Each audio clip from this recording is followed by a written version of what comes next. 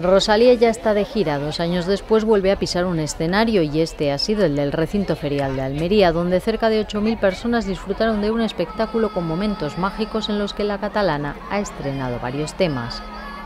Unos cibos con cascos luminosos han abierto paso a una motomami de botas altas de cuero azul, que no ha tardado en descubrir su rostro y arrancar su saoco. Los temas de su nuevo disco, como Candy Bizcochito, han compartido protagonismo con las canciones de su segundo álbum, El Mal Querer, del que a lo largo de hora y media han sonado todos sus cortes.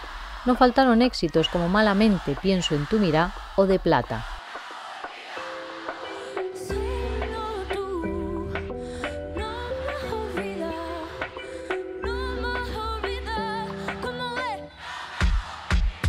Al piano con Entai, con la guitarra en Dolerme o brincando y haciendo twerking en Bizcochito. Rosalía ha enamorado a su público que entregado coreaba las letras y bailaba al ritmo de las canciones.